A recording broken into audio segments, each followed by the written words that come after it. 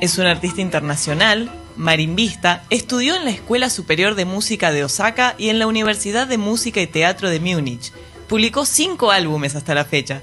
Se presentó con diversas orquestas de todo el mundo.